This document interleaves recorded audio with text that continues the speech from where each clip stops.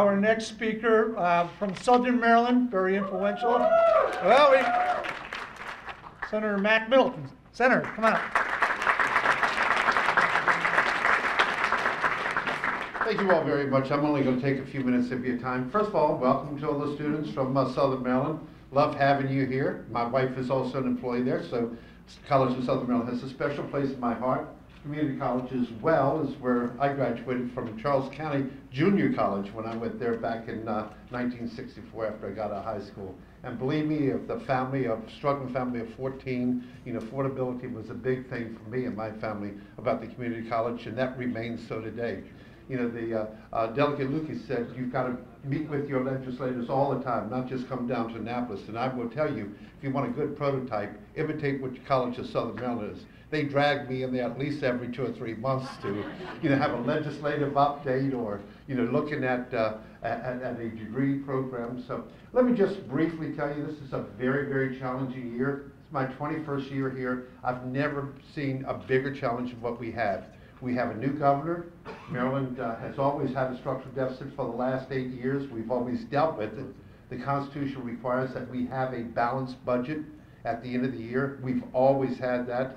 But the governor decided that he was going to take this near $1 billion of structural deficit and was going to solve it in 24 hours. And he presented us a budget that does that. And that's a good thing if it didn't mean that very, very important programs weren't going to suffer. And that's what we're finding. You know, we're committed to working with this governor. I think he's got the right message that people of Maryland expect that we get our fiscal house in order. But when we're doing that, we have to work together with them very, very collaboratively. These hits are going to have a real, real hit on the community college. If we don't do something about it, you're likely to see tuition rates go up. The colleges, uh, community colleges didn't get the anticipated revenue that they were supposed to get that follows the CADE formula. But at the end of the day, we're going to work with them. Maybe we can not take this big elephant, eat it at one bite. Maybe we can just spread and eat it over two years. Hopefully, and I met with Governor yesterday, and uh, he's committed to work with us. At least he says he is, and I trust him because at the end of the day, that's what we got to do. And at the end of the day, was we take and make cuts.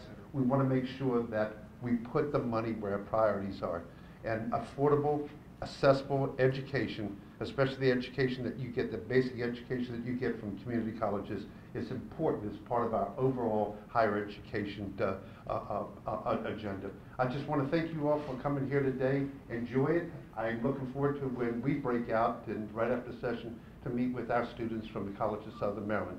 And I always love to hear the stories. It's just one of the best events that we have up here in Annapolis. So God bless you. Keep up the good work. Study hard.